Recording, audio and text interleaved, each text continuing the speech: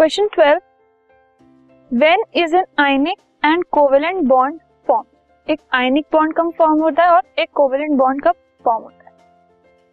जब एक ionic bond form होता है तो उसमें इलेक्ट्रॉन्स का ट्रांसफ़र होता है। मतलब या तो एक इलेक्ट्रॉन जो है वो कोई शेयर करता है या तो लूज होता है या फिर गेन होता है।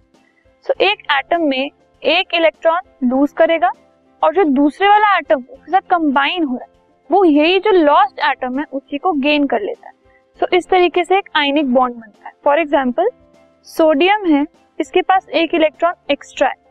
और क्लोरीन जो है इसके पास एक इलेक्ट्रॉन कम है।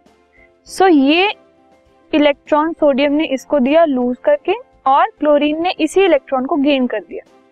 तो so, ये जो एन बॉन्ड बना ये एक आयनिक बॉन्ड है। ठीक है? लेकिन जब हम एक कोवेलेंट बॉन्ड की बात करते हैं तो उसमें इलेक्ट्रॉन्स शेयर होते हैं। लॉस नहीं होता इलेक्ट्रॉन का गेन नहीं होता बट शेयरिंग होती है दो एटम्स के बीच में। जैसे अगर हम एक कार्बन एटम की बात करें तो उसके पास चार वैलेंस इलेक्ट्रॉन्स होते हैं। उसने एक हाइड्रोजन का इलेक्ट्रॉन शेयर कर लिया। और ऐसे चार हाइड्रोजन एटम जो हैं, उसके साथ उसने शेयर कर दिया। तो ये जो सारे बॉन्ड्स बने हैं, ये सब शेयरिंग से बने किसी ने लूज नहीं किया, किसी ने गेन नहीं किया। So this is a covalent compound and these are the covalent bonds